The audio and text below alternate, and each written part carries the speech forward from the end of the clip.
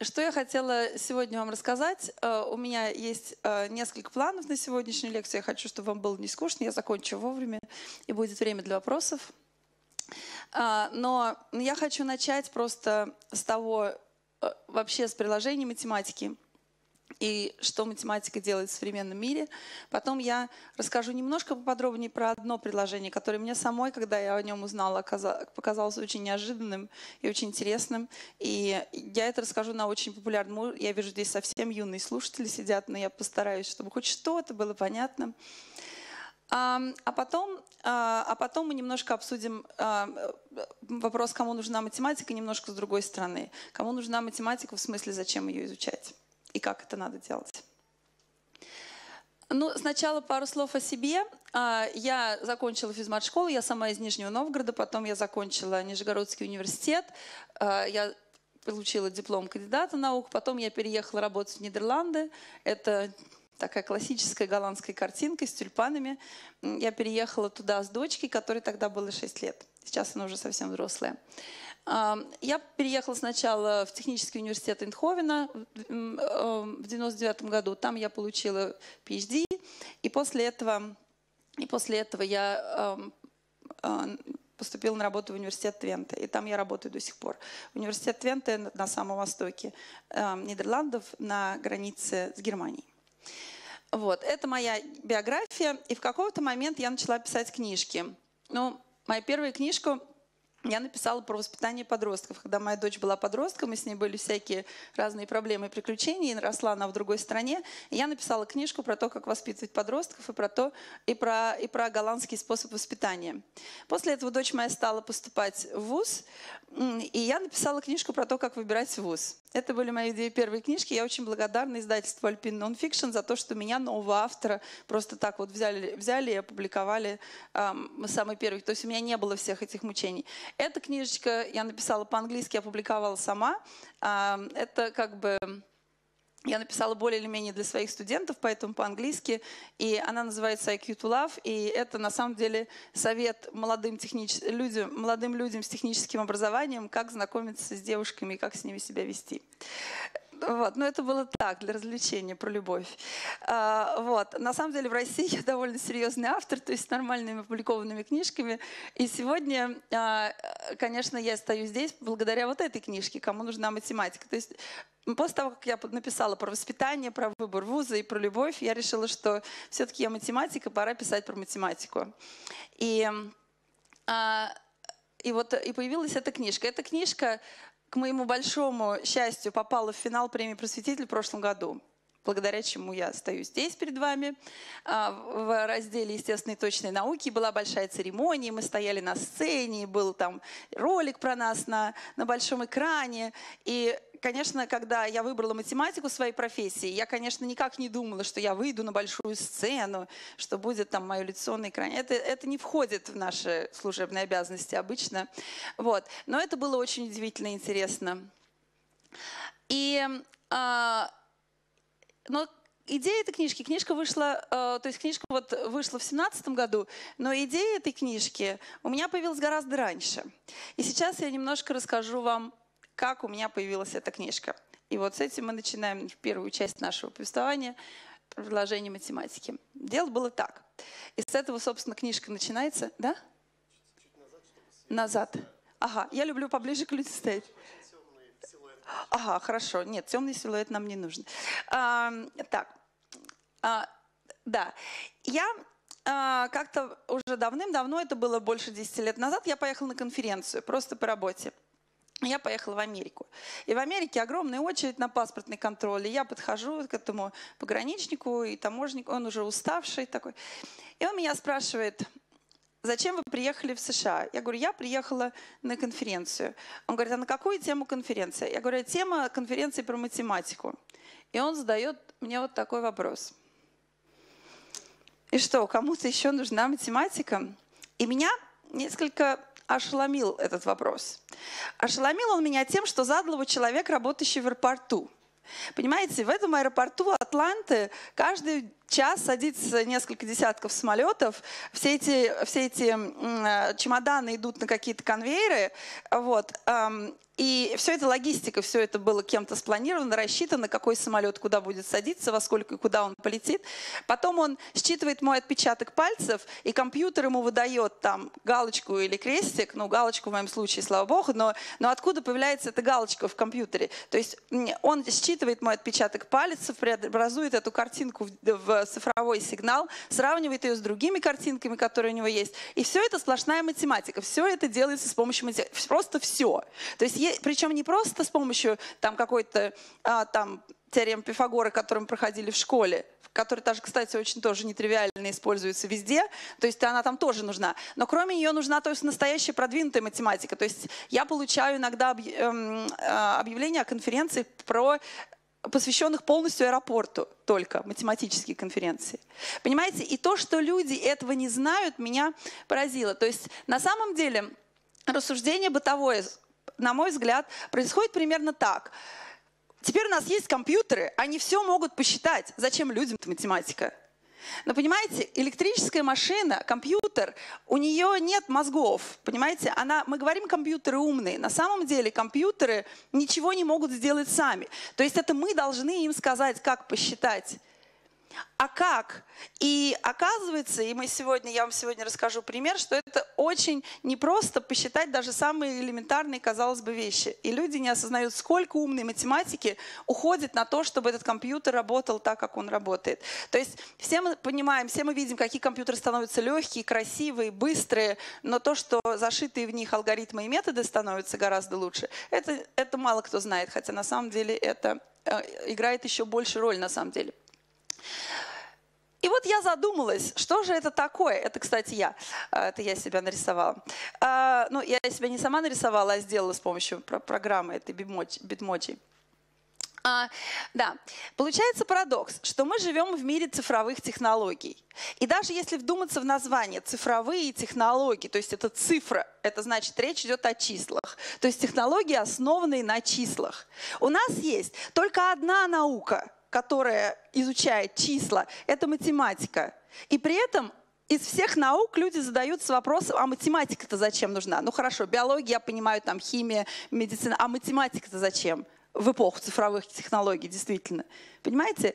И у меня вот этот парадокс, как у математика, а, в голове не укладывается, почему люди так мало об этом знают. И именно поэтому я захотела написать эту книгу. На самом деле, я вам сегодня расскажу про одно приложение математики, но приложений очень много. Одно из самых распространенных приложений – это логистика. Сейчас ни одно планирование, ни одно расписание, ни, никакой серьезного производства или любой э, э, сети, э, цепи доставки, любого, э, люб, э, любой большой организации не делается на пальцах. Это просто невозможно. Оно делается на компьютере, и даже на компьютере это сделать было бы невозможно, если бы не математические алгоритмы. И на самом деле я слышала от коллеги, что из всех алгоритмов, которые, э, для которых используются компьютерные наши э, мощности, вот, из всех алгоритмов на первом месте по э, тому, сколько мощностей занимается он во всем мире, как раз являются алгоритмы оптимизации. То есть это, это логистика, это одно из самых, самых об, таких обычных применений, самых распространенных. Эта картинка, это очень красивая картинка. Это интернет. И, конечно, вы можете э, понять, что в эпоху интернета, что интернет, что такое интернет вообще-то, что такое интернет. А, чтобы, я вам сначала покажу вот эту картинку. Так начинался интернет. Интернет — это компьютеры, связанные между собой проводами, по которым проводам идет дан, идут данные.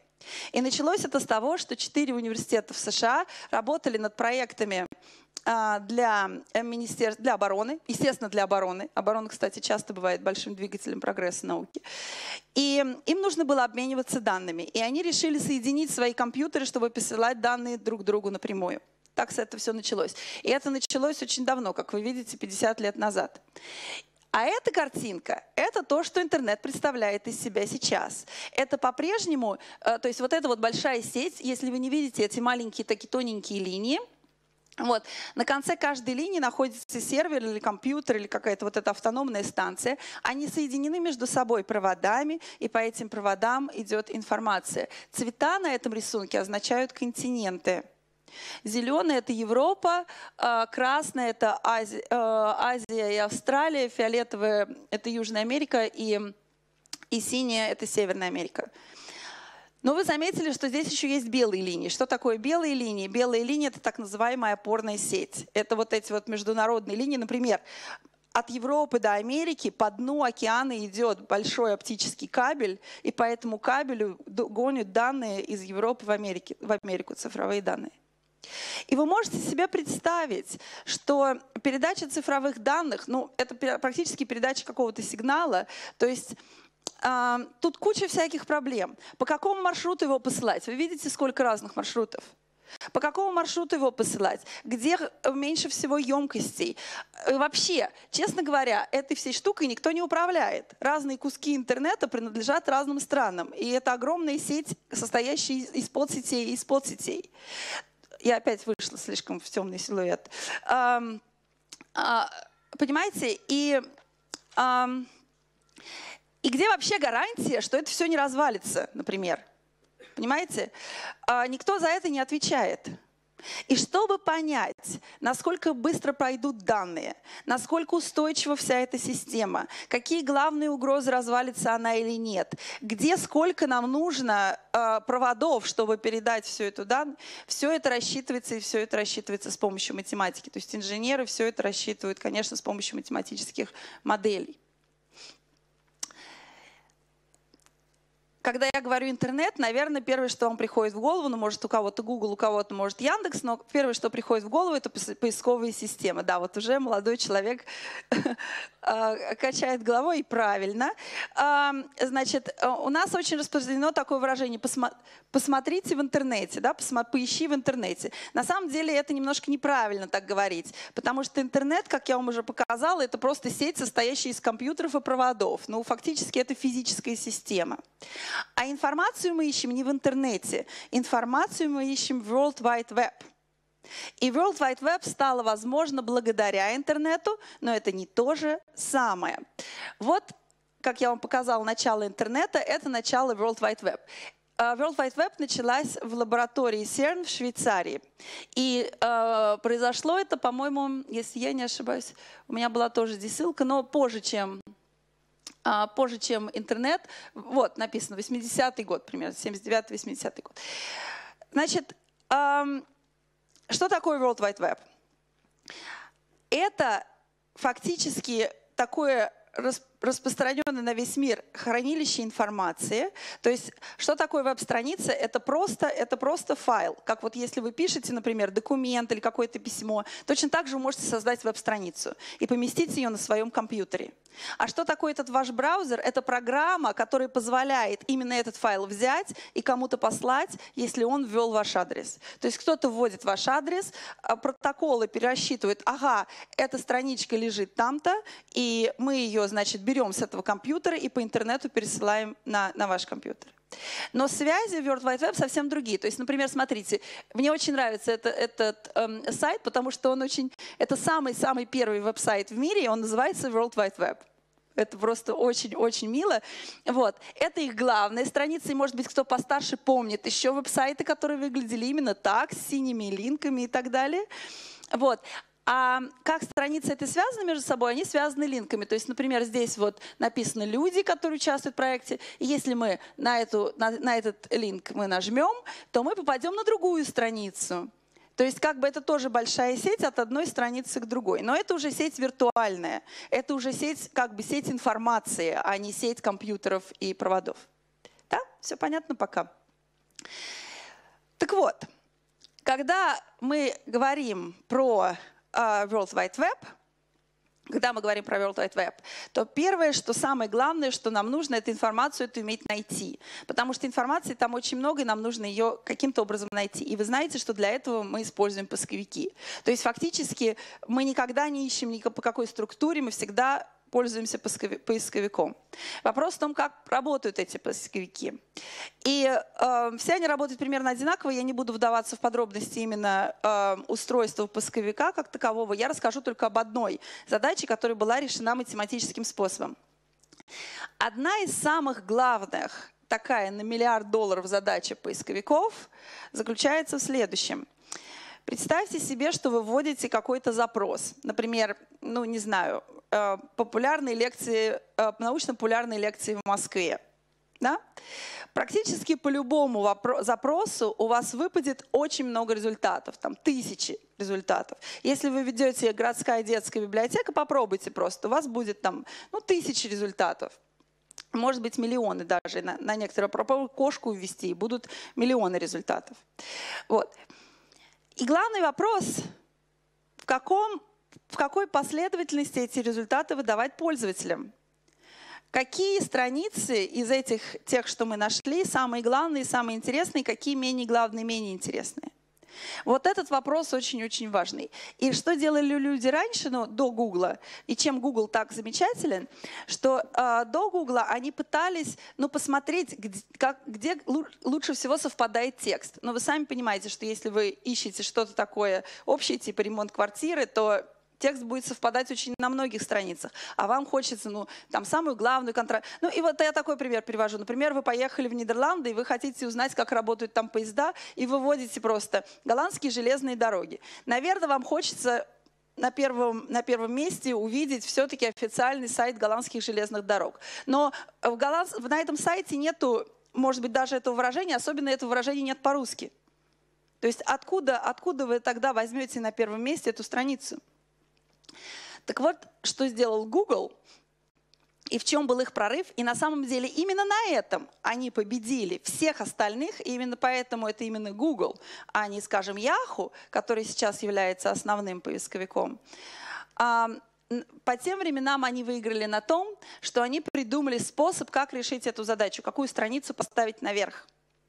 И сделали они это с помощью математики. Они сделали это с помощью чисто математического алгоритма, который я лично в, своем, в своих собственных исследованиях тоже много изучала. И этот алгоритм называется PageRank.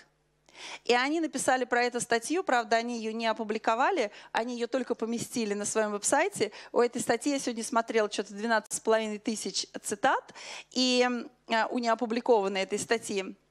И она называется очень скромненько PageRank давайте наведем порядок в сети, более или менее. Так, такое скромное название, потому что действительно это был способ, как упорядочить все это знание.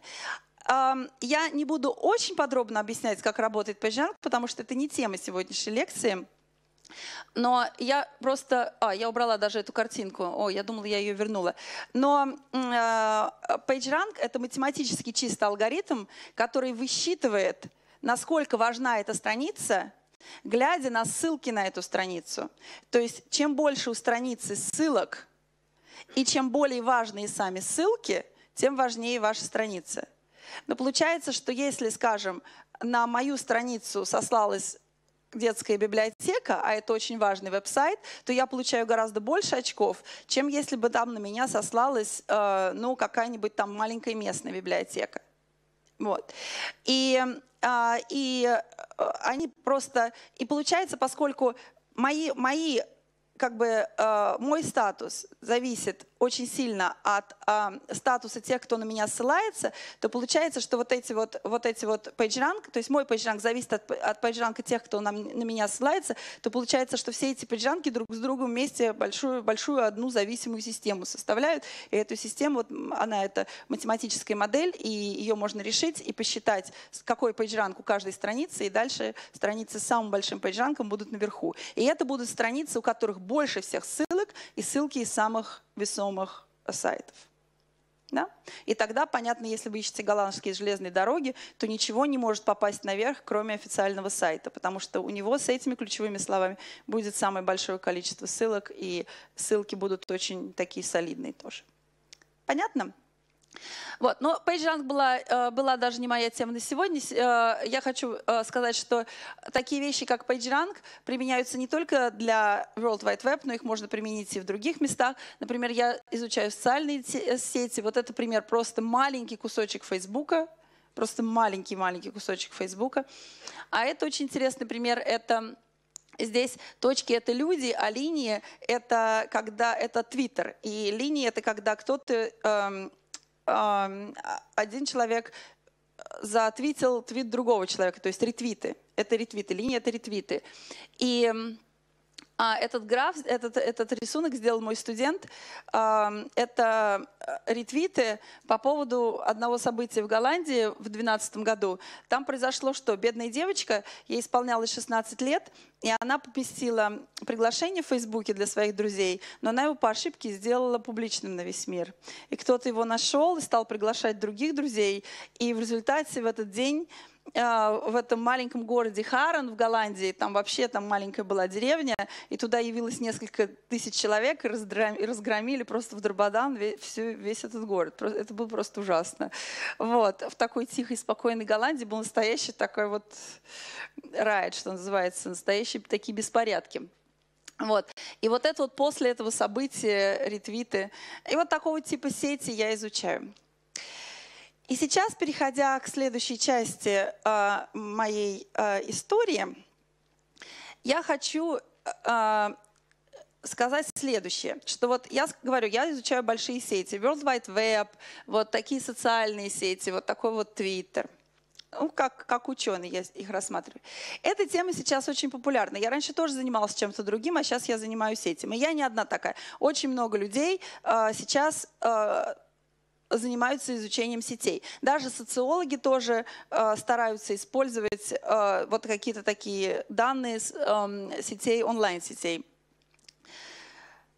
И во всех науках, и в физике, и в математике, и, естественно, в информатике, и в социологии, и в психологии люди очень интересуются сетями, большими сетями. И вопрос, почему вдруг эта тема стала такой актуальной? Естественно, раньше у нас не было социальных сетей. Это понятно. Но почему у нас не было социальных сетей? Не только э, просто, на самом деле у нас их не было просто потому, что у нас не было таких построен таких больших компьютерных мощностей.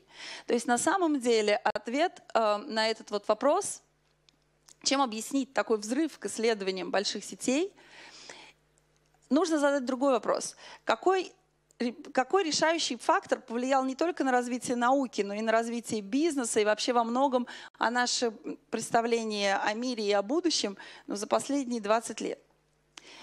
И ответ на это очень простой. Это то, что называется большими данными. То есть э, сейчас э, Э, сейчас э, как бы очень большое влияние имеет тот, у, которого, у кого есть данные. То есть Facebook и Google стали очень влиятельными компаниями не только потому, что они дают какой-то сервис, а потому что у них есть наши данные. На самом деле это даже немножко страшно, и многие люди об этом беспокоятся, потому что это частные компании, и если какой-нибудь злой инопланетянин купит Facebook, то всем нам не поздоровится. Вот. Ну, будем надеяться, что этого не произойдет, но просто сейчас, как никогда, у нас есть возможность э, перерабатывать и хранить такое огромное количество данных, что фактически все стало, что называется data-driven, то есть все основано на, на данных. И если смотреть на социальные сети, то это тоже фактически данные, кто дружит с кем и очень большие. То есть это часть вот этого, вот этого э, огромного изменения, которое произошло за последнее время, что все стало основано на данных. И интерес к сетям связан тоже именно с этим. Ну, мы просто даже можем их изучать, потому что у нас есть доступ к этим данным, потому что мы можем получить. Ну, э, понимаете, иметь данные – это далеко еще не означает все знать. Понимаете, вот для человека более-менее то, что там мы знаем, мы как бы это можем использовать. Но для компьютера это совсем не так. У компьютера на диске может быть очень много знаний, но это не значит, что он их может напрямую использовать. То есть а, как анализировать эти данные, как из них извлечь информацию? Вот в чем очень большой вопрос. И сегодня я вам расскажу об одном приложении, которое связано именно с этим. Когда оказывается, что, казалось бы, очень простая задача, связанная с обработкой больших данных, оказалась физически нерешаемой. И это очень удивительно. Это одна из э, глав этой э, книжки, то есть я надеюсь, что э, э, и остальные главы про другие приложения, но я вот выбрала сегодня про эту главу рассказать. Начнем с маленького примера. Пример очень простой. Допустим, вы работаете в банке. И ваш банк, как и любой другой банк, в настоящее время очень много занимается данными. То есть они хотят эти данные использовать, чтобы как-то улучшить свой бизнес. В данном случае они выдали карточки, ну мы берем очень маленький пример, выдали людям карточки, 50 людям, и номера у этих карточек от 1 до 50. Ну, понятно, что в жизни все гораздо больше и круче, и длиннее номера, но мы будем с маленьким примером просто проще понять. И вот э, к нам приходят первые транзакции. Вот к нам пришло первые 10 транзакций. И вопрос, сколько клиентов воспользовались этими кредитными карточками? Ну, например, вот человек 50, он ее два раза использовал. Видите? То есть ну, из этих 10 транзакций максимум 9 было разных. Если вы посмотрите на этот ряд, сколько человек воспользовались карточками? 8, да? 50 повторяется, и что еще повторяется? 48 повторяется. Совершенно верно. У вас не было никакой проблемы с ответом на этот вопрос. Отлично. Приходит 20 транзакций. А сейчас? Ага. Наш человеческий мозг уже говорит все все, я должна взять бумажку, ручку, начать записывать, это уже невозможно удержать в голове, да? Но, понимаете, у нас всего 30 транзакций, на таком бизнесе банк не продержится. Надо транзакций гораздо больше, миллионы. Что делать? Ну, мы говорим, ну ничего, там же не сидит какой-то клерк, который записывает транзакции. У них же компьютер есть, надо, чтобы компьютер это обработал. Отличная мысль. Давайте посмотрим, что произойдет с компьютером. Как бы мы стали решать проблему подсчета на компьютере? Что вы думаете, надо сделать? Вот у нас пришло это 30 транзакций. Как мы будем решать эту задачу, если у нас есть компьютер? Как, как, как мы составим эту программу? А? Ну хорошо. Давайте делать так, как мы сделали бы с бумажкой, но только с компьютером. Это будет быстрее. Запишем первое число. Это число 15. Вот оно у нас. Отлично. Дальше берем следующее число и сравниваем с записанным. 48. Если мы это число раньше не видели, то есть сейчас у нас 48 другое число, если оно новое число, мы его тоже записываем.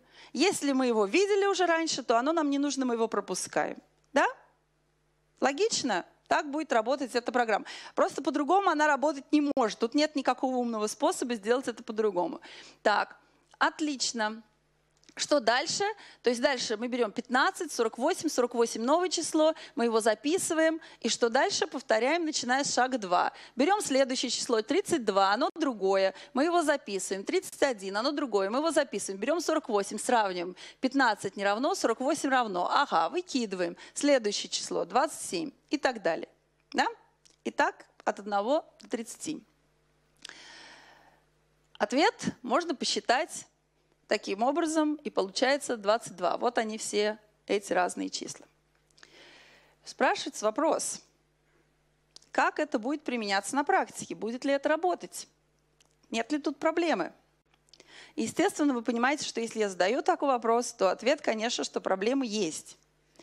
Да, иначе что бы я стала тут про нее спрашивать, да? В чем проблема? Кто-нибудь может сказать из зала? На факториал, факториал это актуальная проблема во многих задачах. Э, она проблема, когда у нас есть э, скажем, 30 предметов, и нам их нужно расположить в разном порядке. Тогда разных порядков будет 30 факториалов, мы их всех обсчитать не сможем. Но здесь немножко другая проблема, потому что нам их не нужно в разном порядке расставлять, мы их смотрим просто подряд, нам не важно, в каком порядке они, и просто сравниваем с записами. Проблема, то есть Алгоритм у нас простой. У нас две операции только. Записать и сравнить. И все. В чем проблема? записать в сравнении с записанными числами. Именно так. Сначала нам надо записать число, потом надо сравнить с записанными, потом снова записать. Так? То есть мы должны записать. Спрашивается, куда записать? Ну, понятно, в компьютерную память надо записать, это естественно, да? И вот тут мы сталкиваемся с большой проблемой. Потому что если этих транзакций у нас миллионы, то очень быстро у нас на экране появится любимый значок любого программиста. То есть это то, что не хочется видеть на экране. Что делать? На самом деле проблем с памятью на нашей планете пока нет. У нас много ограниченных ресурсов. Нефть, чистая вода. Но компьютерной памяти у нас полно. А если не хватает, мы можем построить еще. Вот это кампус Яндекса. И все эти коридоры заполнены серверами, и на них можно хранить данные. То есть, в принципе, записать и запомнить миллионы, миллиарды чисел, никакой проблемы в этом нет. Но тогда возникает проблема, которую только что назвал молодой человек, что надо не просто записать, но и сравнить с записанным. То есть то, что ты записал, надо еще и вытащить и сравнить. И вот что получается, что у компьютера на самом деле два вида памяти. Первый вид памяти – это жесткий диск. Его можно сравнить тоже, его, он может быть у вас, он может быть на облаке, но он на каком-то таком вот сервере. На сервере можно хранить сколько хочешь на жестком диске. И у компьютера есть э, оперативная память. То есть э, оперативная память – это вот когда вы включаете компьютер, открываете свои программы, вот все, что там вы делаете прямо сейчас, у вас все в оперативной памяти.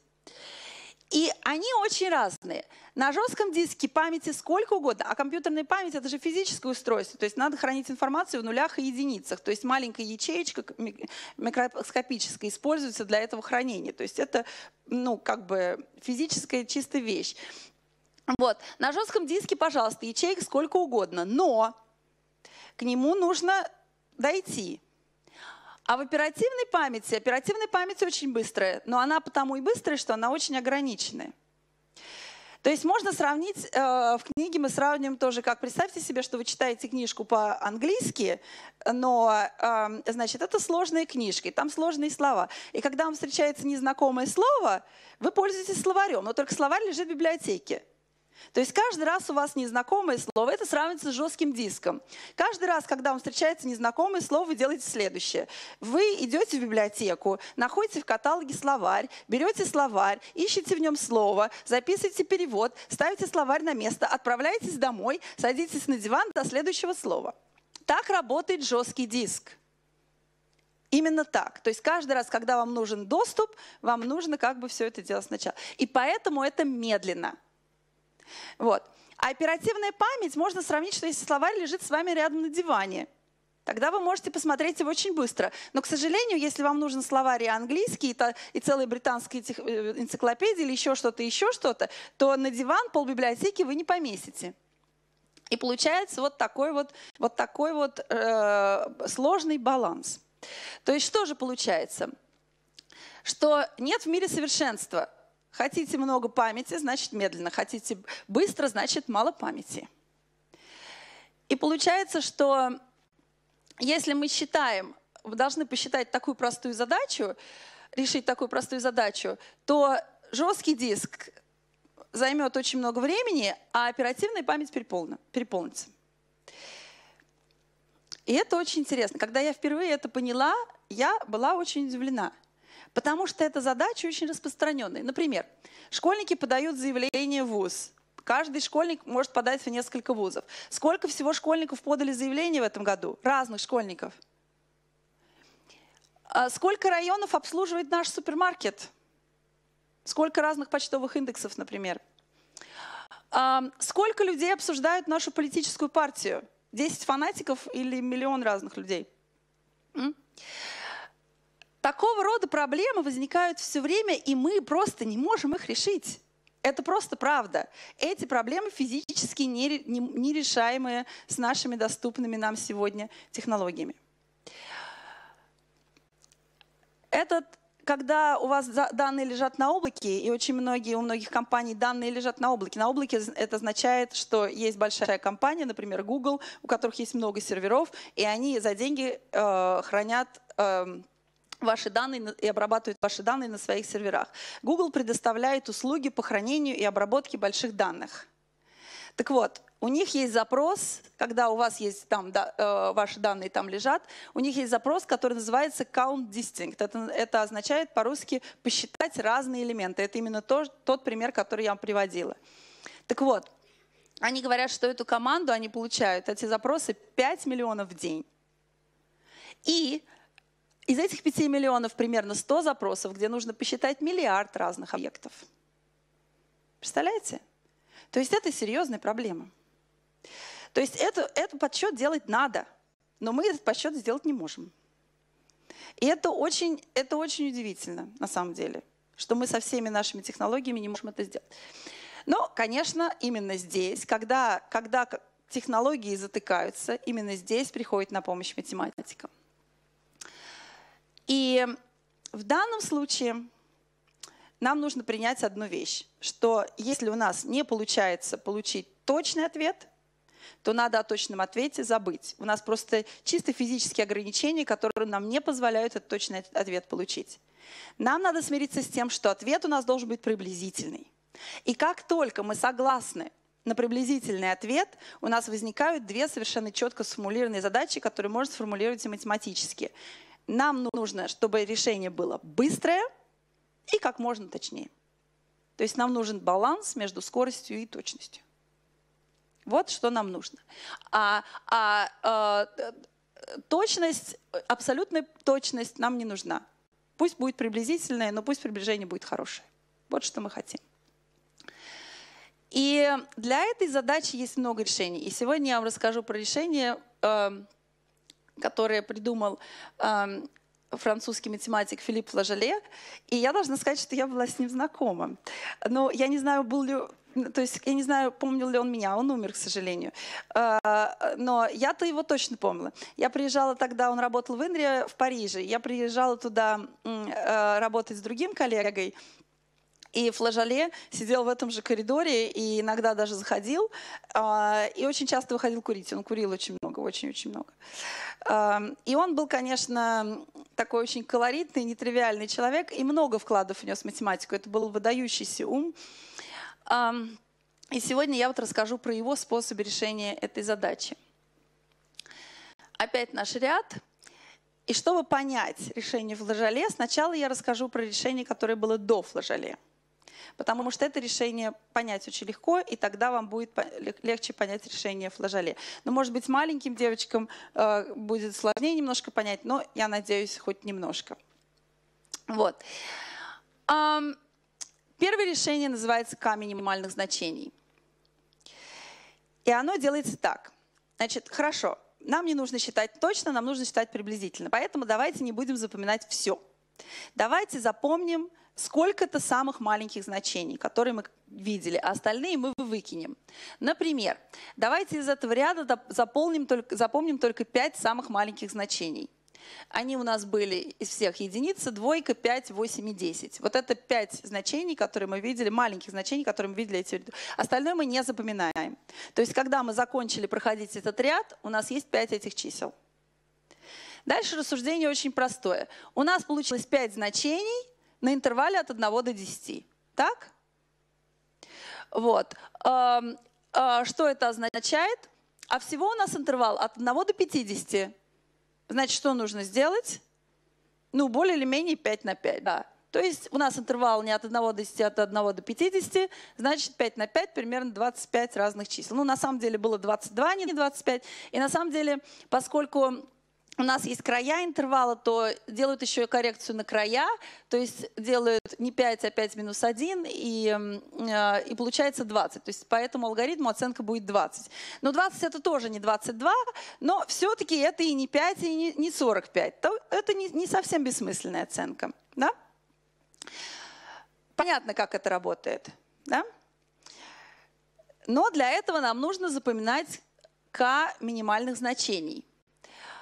То есть если у нас есть n чисел, извините за буквы, но я вам покажу кое-какие буквы. То есть если у нас есть n чисел, ну подумайте, n, допустим, миллион или миллиард, так? То давайте подумаем, сколько нам надо запомнить. Я не буду объяснять, но, к вопросу к тому, зачем людям нужны логарифмы.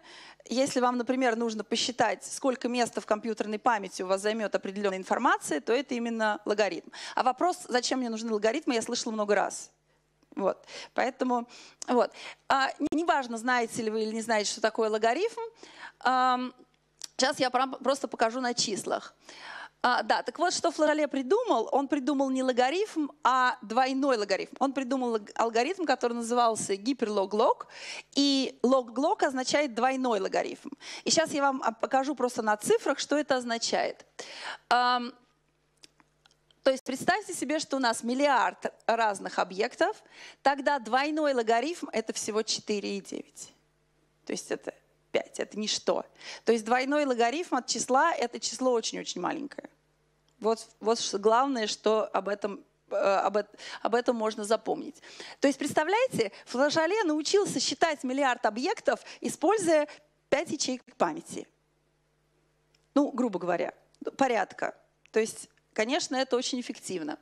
Если мы сравним, например, если мы захотим 100 минимальных значений, то нам нужно будет 100 логарифм от миллиарда, и это все-таки уже будет гораздо больше. То есть это уже нужно гораздо больше запоминать. То есть это алгоритм по памяти, потому сколько памяти нам нужно, гораздо более эффективный. Сейчас я вам попробую объяснить, как это работает. Я сделала это все в картинках, и я думаю, что будет понятно. Значит, этот алгоритм использует так называемые хэш-функции. Сейчас я вам покажу, что это такое. Например, нам нужно посчитать, сколько разных магазинов. Вот люди пользовались этой кредитной карточкой в интернете. Что такое хэш-функция? Каждому объекту хэш-функция присваивает ряд нулей и единиц. Они так устроены, что эти ряды нулей и единиц получаются практически случайными. Вот. Но это функция в том смысле, что если мы туда введем H&M, то мы получим этот ряд, и если мы снова введем H&M, то мы снова получим этот ряд. То есть фактически нам нужно посчитать, если нам нужно посчитать, сколько у нас разных объектов, то фактически нам нужно посчитать, сколько у нас разных хэш-функций. Более-менее. Так, отлично. Теперь э, что делает гиперлог-лог? Гиперлог-лог делает вещь наглую, просто до невероятности. Просто до невероятности. Мы сначала сказали, не хотим все запоминать, потом сказали, давайте запомним 5 минимальных, или там 100 минимальных. Потом мы сказали, мы и 100 минимальных не хотим запоминать. Вот что мы хотим запоминать. Смотрите. Когда мы смотрим на эти разные хэш-функции, мы запоминаем только максимальное количество нулей в начале, которые мы когда-либо видели. То есть, например, здесь мы видели 1, 0, максимальное 1. Здесь мы видели 3 нуля, записали 3. Здесь 0 нулей, то есть остается 3. Здесь 1, 0, то есть остается 3. Здесь 0 нулей, то есть остается 3. И в результате, после обработки всего этого ряда, ответ 3. Так? И это единственное, что мы запоминаем.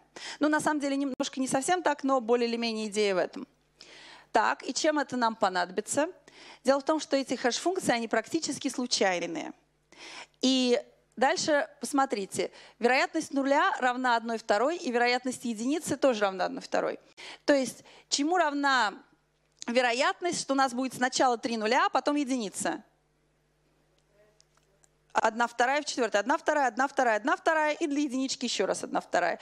То есть это будет одна шестнадцатая это будет вот 1 шестнадцатая. И рассуждение такое. Если у нас вероятность 1 шестнадцатая, то это означает, что мы видели примерно 16 объектов.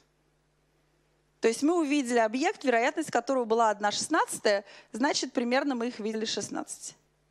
Это наглость, потому что вы сами понимаете, что это очень-очень неточно. Но это очень крутая идея, потому что смотрите, что нам нужно запоминать. Нам нужно запоминать только одно число, максимальное число нулей. Ну, что сказать, для практики такой подход не годится. Ну, все-таки, извините меня, тут было у нас сколько, 4 магазина, а не 16. То есть клиенты будут недовольны, если мы будем использовать такую грубую оценку. Но дальше, вот, понимаете, когда идея уже есть, то сделать идею для практики пригодной, это уже другой вопрос, и постепенно он решается. Так вот, эм, А, так вот, а, Флажоле на самом деле сначала вот это вот, а, он сделал сначала эту идею лок-лок, запоминать только начало, нуле, сколько нулей в начале, а потом он написал статью, которая оказалась очень влиятельной, которая называется hyperlog-log. И вот этот вот hyperlog-log, он как раз улучшал точность. То есть, что он, то есть там было применено несколько разных разных способов, чтобы оценка была не такой грубой, а чтобы оценка была более точной. Например, он разбивал хэш-функции на регистры, он э, применял между регистрами особые хитрые усреднения и так далее. Но в результате он добился того, что он получил алгоритм, который, основываясь на этой идее, э, э, на этой идее с, с нулями, давал приемлемую для практики точность. И Google, например, ну и Amazon тоже, и все компании, когда им нужно посчитать различные объекты, пользуются именно этим алгоритмом. Ну, надо сказать, что эм, Флажоле умер в 2012 году, а его алгоритм начали внедрять широким фронтом в 2013-2014. И я до сих пор не знаю, например, я не знаю, знал ли он об этом. То есть знал ли он, что его алгоритм нашел такое широкое применение и найдет, я не уверена.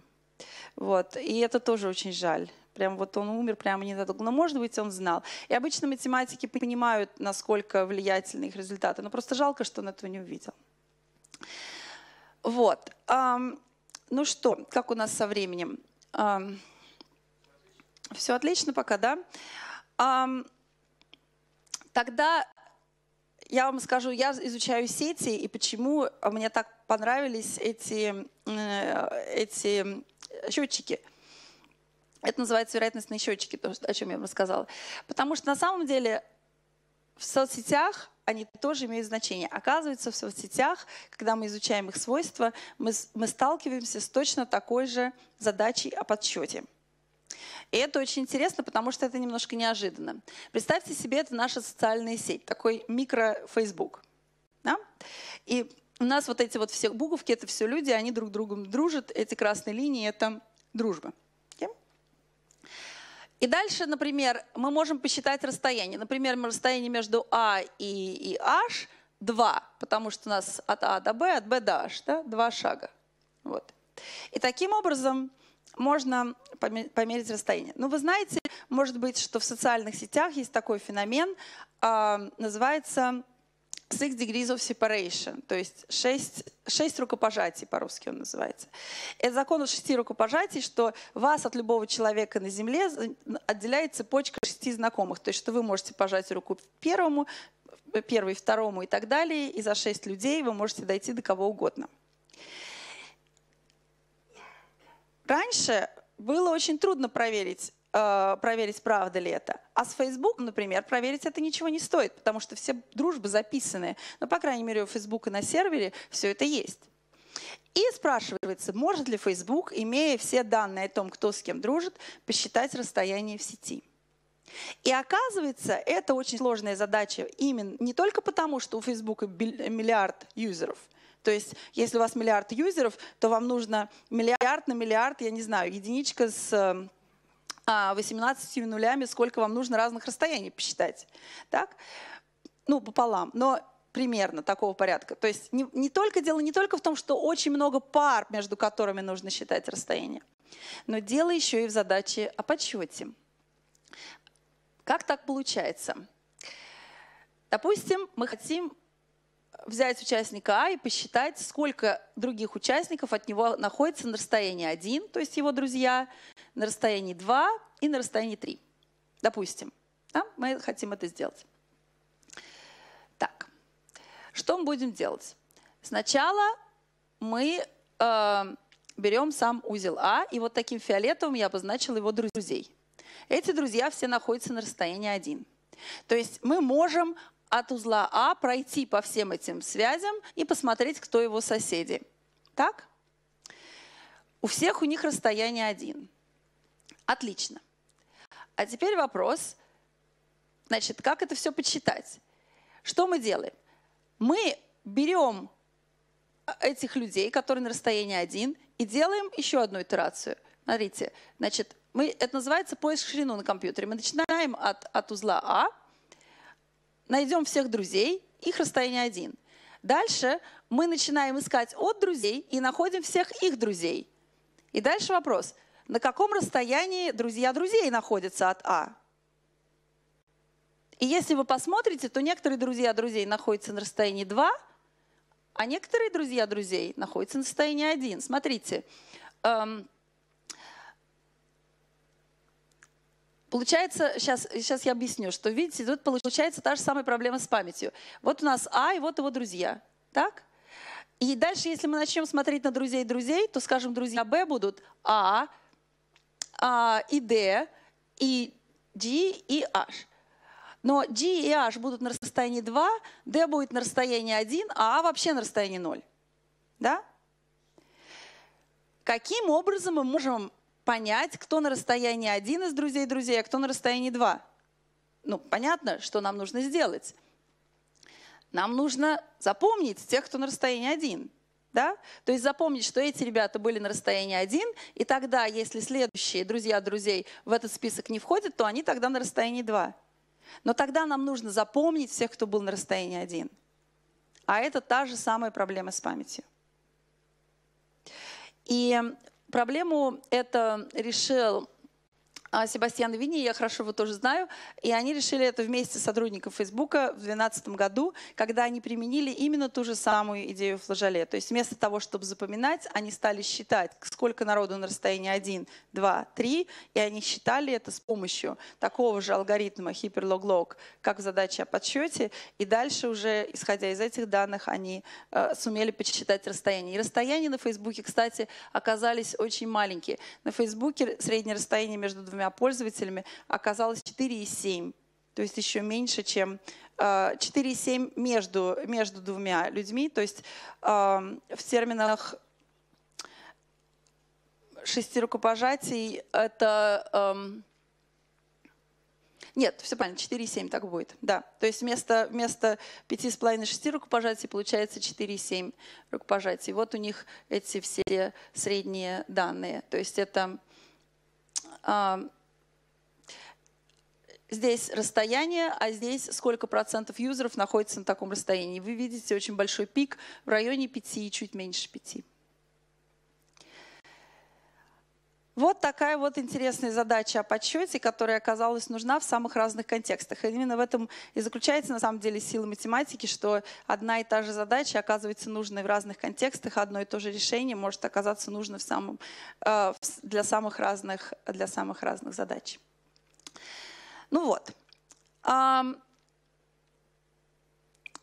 Дальше я написала вот эту книжку, написала про интересное приложение, стала выступать с этим, как я сейчас вот выступала перед вами. Я смотрю, вы уже даже немножко устали от всей этой математики. А после лекции ко мне стали подходить люди.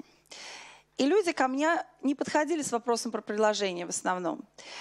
Потому что я как-то, ну, ну хорошо, они не знали про приложение, теперь узнали. Я надеюсь, я всех убедила, что задача о подсчете была сложная, что нужна была математика для ее решения. Я думаю, что если вы послушаете подобную лекцию, то вы сомневаться особо в этом не будете. Что есть другие приложения, что нужна математика для логистики, это все легко поверить. Но люди подходили к другим вопросам. Они говорили, ну хорошо, все это очень нужно, все это очень важно, ну пусть математики это и делают. А мне это зачем? Мне-то зачем изучать про синус, про логарифм? Или еще чаще, зачем это моему ребенку? Вот я, понимаете, я сам технарь, я все это понимаю, я все это люблю, но мой ребенок безнадежный гуманитарий, у него там нет технических мозгов, там или у нее это все и неинтересно. И зачем нужно ли им это с этим связываться? Я давала разные ответы э, на этот вопрос. И этот вопрос привел меня э, к большому интересному развитию событий, потому что в результате всех этих вопросов эм, в моей жизни появилась Алла Кичиджан, которая вот сидит здесь э, впереди. И мы с ней вместе организовали группу, которая называется «Математика великая и ужасная». Это группа в Фейсбуке, в ней сейчас 12 тысяч участников. И мы ее завели как группа математики для не математиков. Я математик, а Алла сама журналист была, так креативный продюсер соц, соцсетей. Она полнейший вот такой настоящий классический безнадежный гуманитарий. И мы создали эту группу, потому что Алла сказала, вот я всегда считала себя гуманитарием, а я хочу попробовать изучить математику. А можешь ли ты меня обучить через Facebook математике? Я говорю, ну давай попробуем. Она говорит, а у меня есть еще желающие. И так вот началась эта группа, где мы обсуждаем математику. А, вот это, значит, мы создали эту группу. И из этой группы очень много у нас появилось э, интересных наблюдений. И самое первое интересное наблюдение, что даже в нашей группе образуется серьезный водораздел, что вот эта вот вся математика служит как бы серьезным водоразделом между, скажем, технарями и, и гуманитариями. И первые смотрят на формулу и другие смотрят. А! И это очень, это очень явно видно, даже видно в нашей группе.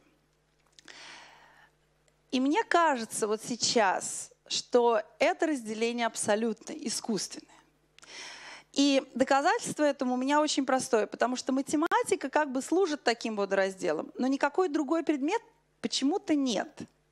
То есть эм, и дело и, и дело тут не в том, что... То есть я считаю, что, что такое понятие, как гуманитарные мозги, это абсолютно выдуманное понятие, которое, кстати, никакими исследованиями не доказано, что это такая вещь вообще существует. Вот. И проблема здесь не в гуманитарных мозгах, а в чем-то совсем-совсем другом. То есть я, честно говоря, считаю, что так быть не должно. И я считаю, что безнадежные гуманитарии, которые себя считают, должны математику все-таки изучать. И я сейчас попробую привести три аргумента, почему это полезно. И то, что у меня стоит здесь, это первый аргумент. Особенно в молодом возрасте мы никогда не знаем, какое знание нам пригодится. И математика – это не только какие-то там пыльные формулы, которые никому не нужны. Вот новость, они нужны они нужны. И если вы хотите заниматься когда-либо, хоть чем-либо техническим, то вам эти формулы понадобятся. То есть этот человек, например, математика ему не нравится, но нравится работать с компьютерами. Хочет разобраться в криптографии, вы знаете, я могу сказать честно, что я очень плохо разбираюсь в криптографии. Это очень сложная математика. И нужна подготовка. То есть это неправда, что это знания не нужны. Эти знания нужны в довольно широких областях. Моя сестра училась на MBA, и звонила мне из Америки, она в Америке училась, спрашивать, почему производная от x в степени n вычисляется именно по такой формуле, а не по другой. Потому что она не могла использовать эту формулу, не поняв. Но в экономике формулы тоже очень нужны, и очень много и довольно продвинутые. То есть не, до, не надо недооценивать спектр занятий, где эти знания нужны именно как знания. Не надо думать, что эти знания не нужны. Они нужны. Это раз. Во-вторых, я тут посмотрела, что у вас недавно выступал э, Борислав Козловский. И рассказывал он именно про эту э, книгу «Максимальный репост». Подобная книга, ну, может, не подобная, но на схожую тему вышла недавно шумевшая книга на Западе Кэти О'Нейл «Weapons of Mouth Distractions». О чем говорят такого рода публикации? Они говорят о том, что наша жизнь все больше и больше определяется алгоритмами. Дадут ли вам ипотеку, сколько будет стоить ваша страховка, сколько будет стоить ваш самолетный билет, остановит вас полицейский или не остановит, или сколько полицейских будет гулять вокруг вашего дома по сравнению с домом в другом районе. Сейчас все больше это определяется на основе больших данных с помощью алгоритмов. И когда люди, и, и, и, значит, проблема, что эти алгоритмы бывают, что кормят вас фейковыми новостями, дискриминируют и делают кучу всяких гадостей.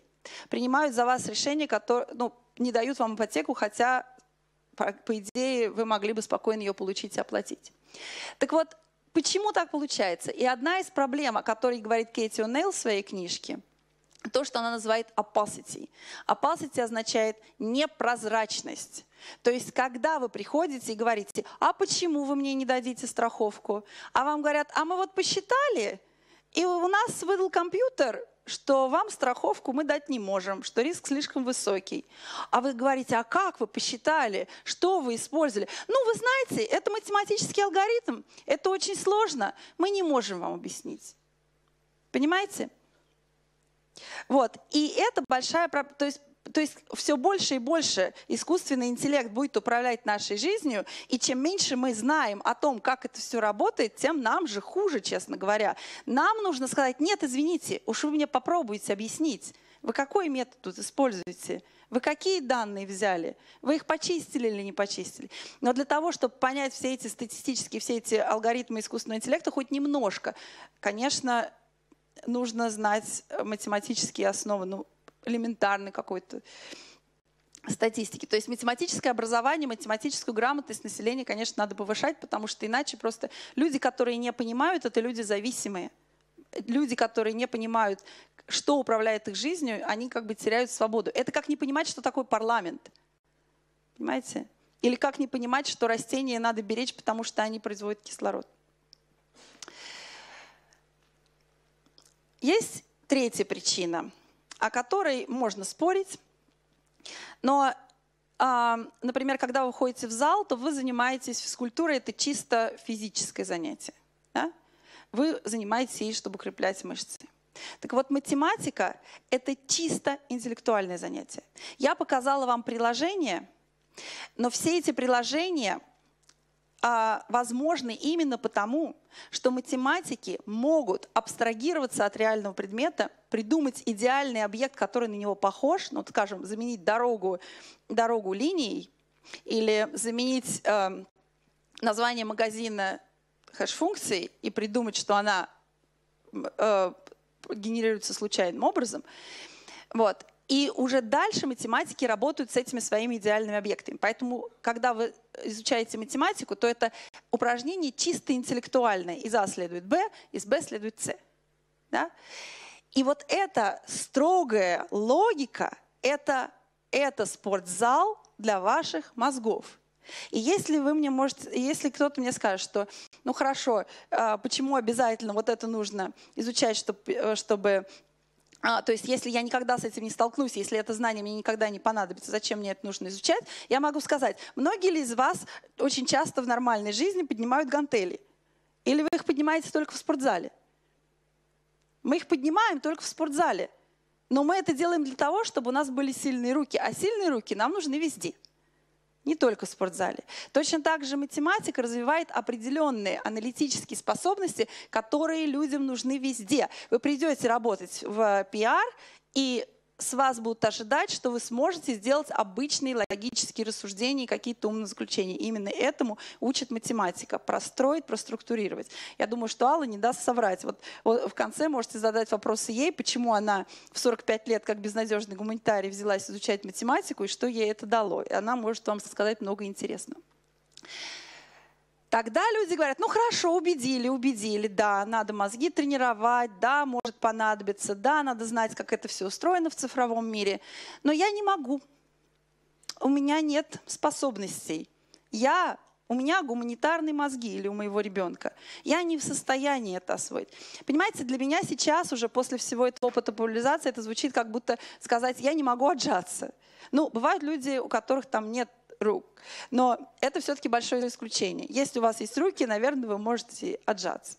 Понимаете, точно так же математику. Я сейчас убеждена, я прочитала вот эту э, книгу Джо Боулер, она, кстати, скоро выйдет, она уже, по-моему, вышла в электронном виде, скоро выйдет в напечатанном виде тоже в издательстве «Миф», э, где она пишет, что каждый в состоянии освоить математику. И я сейчас верю в это. Я верю, что каждый в состоянии освоить математику.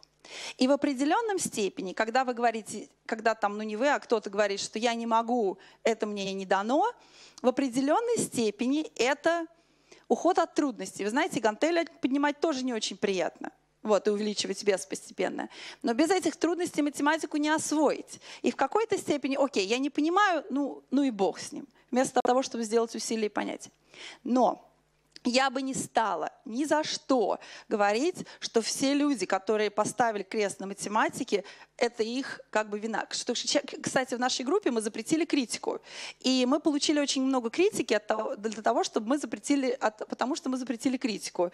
Вот. Очень нас критиковали за это сильно. Но мы удаляли все эти посты, потому что критика в нашей группе запрещена. А вот Али не посчастливилось выступить на научно-популярном канале, где критики не было запрещено. И там такое понаписали, написали. У меня это было на слайде, но я решила неудобно показывать.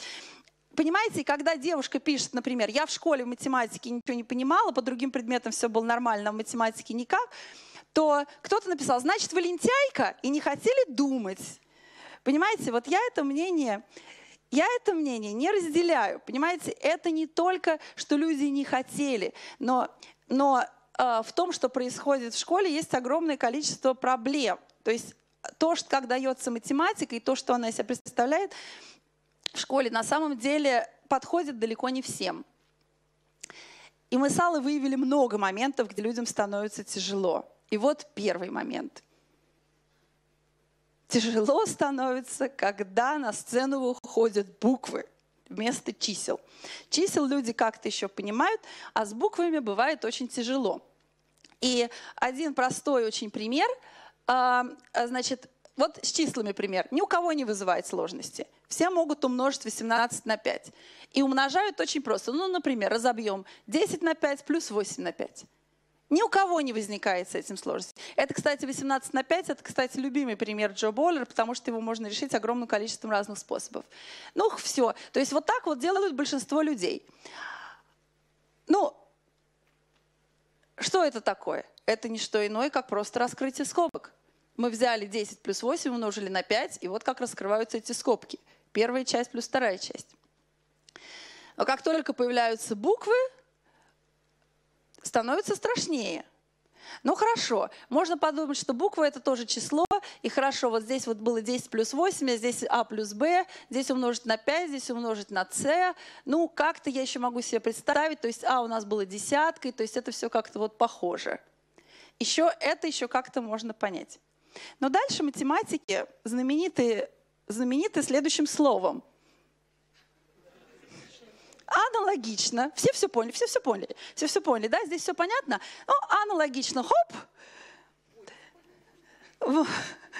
и, и кому-то понятно, а кто-то сидит, и, например, Алла сказала мне на это, Алла сказала, слушай, я ничего не понимаю, а где аналогично? Здесь четыре буквы, здесь, здесь три, здесь две скобки, здесь, здесь одна, а здесь ты два шага делала. Почему? Я ничего не понимаю.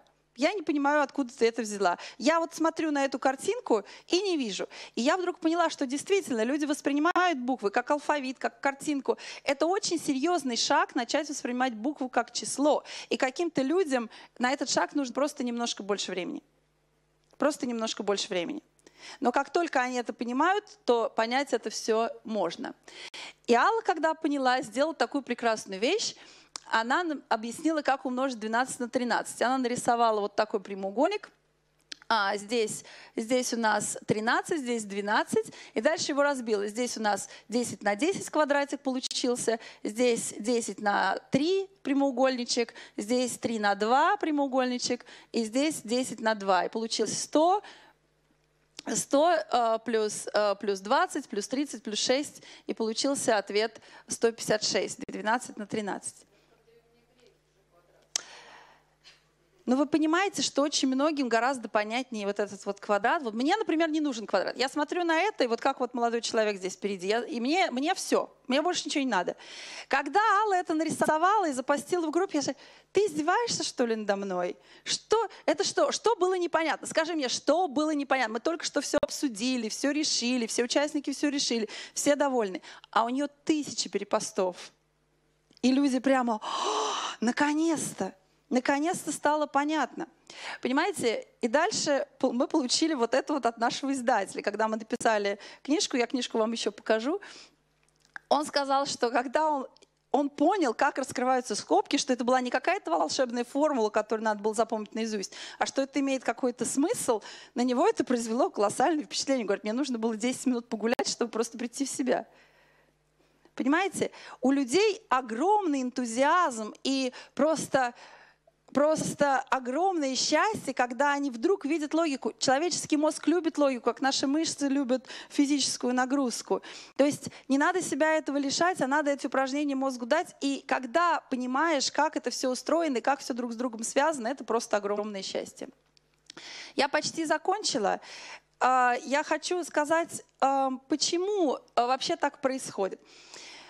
Дело в том, что математикой мы знакомимся из школы, и даже вот в книжке Боулер было написано, это было очень интересно, что школьная математика Понимаете, что такое мы представляем себе? Индивидуальная работа, что главное не ошибиться, главное, чтобы все было правильно. Чуть что неправильно, нет, это неправильно. Вот в группе у нас и так делать нельзя. И надо выучить наизусть много непонятных формул. И тогда все будет... Даже люди, которые получают пятерки, даже наш создатель хорошо учился по математике, просто все выучил наизусть. И когда я стала искать в Гугле, э, как бы заниматься математикой, то я получаю вот такие картинки в основном. Но на самом деле, вот я занимаюсь математикой как профессией. И я могу вам сказать, что математика на самом деле, та математика, как знаю ее я, это совсем не то. Мы все время обсуждаем, мы спорим, мы не знаем, какой будет результат. Мы делаем огромное количество ошибок. Мы даже публикуем ошибки порой. Но это все-таки мы стараемся избежать, но так случается. И рассказываем о них друг другу, потому что мы учимся на ошибках. И Бойлер, кстати, тоже пишет, что за ошибки надо хвалить, их надо поощрять, надо все время спрашивать, а почему ты так сделал? Не надо кричать неправильно. Надо сказать, а почему? И может быть у человека было здравое рассуждение, может у него было даже очень оригинальное рассуждение. Потому что рассуждение гораздо важнее, чем правильный ответ. И, наконец, эта математика – это очень креативный процесс. То есть, когда я пыталась найти и заниматься математикой, я, честно, ожидала найти что-то такое. Вот. Но я нашла эту картинку, когда я вела заниматься математикой вместе. Тогда сейчас есть очень много новых педагогических методов, где математика выглядит именно так. И со своими студентами я пытаюсь тоже добиться именно вот такой картинки, а, а не такой. И если процесс пойдет вот так, то вы увидите, что в классе ни одного безнадежного гуманитария не останется. Я очень люблю эту цитату. Это цитата знаменитого ученого и учителя Поля, Лох, э, Пола Лохарда. «Я не возражаю против формулы фактов. Я жалуюсь на отсутствие математики на уроках математики». То есть то, чем занимаются математики ученые, в школе люди не видят ни приложений, ни живого процесса, ни обсуждений, ни ошибок, ни креатива. Поэтому математика должна быть для всех. Кто-то рисует квадрат, кто-то раскрывает скобки, и мы все учимся друг у друга. Я хочу закончить тем, чтобы показать вам впервые – обложку книжки, которую мы написали по материалам нашей группы в Фейсбуке «Математика для безнадежных гуманитариев». Она выйдет скоро, и мы там рассказываем про синус и тоже зачем он нужен, про теорему Пифагора и зачем она нужна, и много-много чего, э, чего другого. Вот. Но самое главное Э, мысль этой книжки это то, что математику в состоянии понять каждый. Не факт, что это будет вашим любимым предметом, но говорить, что вы не в состоянии это сделать, это, конечно, просто неправильно. То есть по состоянию каждый может понять и оценить, о чем это на самом деле. Вот то, что я хотела рассказать вам сегодня. Большое спасибо еще раз, что пришли, и большое спасибо за внимание.